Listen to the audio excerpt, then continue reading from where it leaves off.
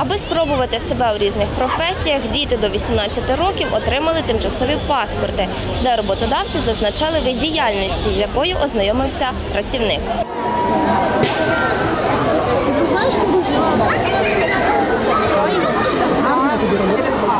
Денис мріє стати програмістом. Його менший брат пожежником. Каже, його зацікавила рятувальна машина. Ну, якщо так спробувати так, е, тактично, то можна. В принципі, якщо так подумати хорошо, то стати пожежником хорошо.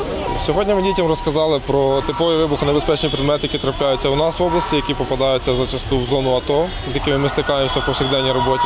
Також розказали про штатні засоби захисту, які знаходяться в групі піротехнічних робіт на озброєнні, про штатну техніку, про водолазне майно. Діти дуже хочуть, щоб її підписували. Я, знову ж таки, їм подобається і дуже просять. І всі, майже всі, хто заходять, кажуть, що хочуть бути от іменно пожежником, рятувальником. Якщо говорити дуже Дарині Козак 11 років. Розповідає, з майбутньою професією не визначилась. Спробувала брати у подруги інтерв'ю.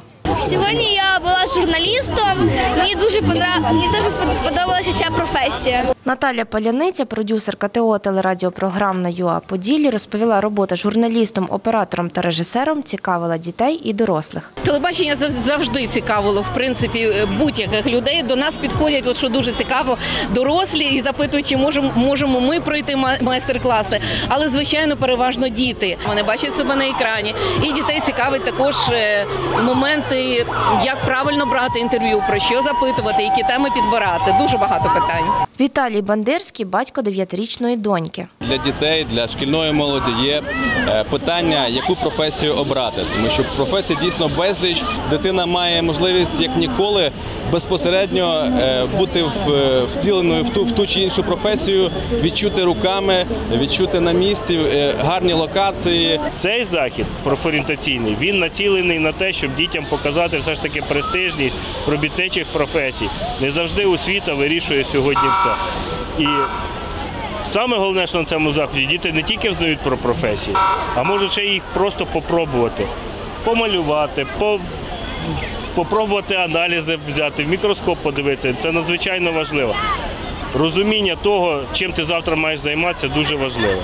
Тетяна Люлька, організаторка національного проекту Місто професій, розповіла, основна мета заходу показати дітям, скільки є різних професій, аби в майбутньому працювали за власними вподобаннями. Додає девіз цього проекту Ми формуємо націю свідомого вибору.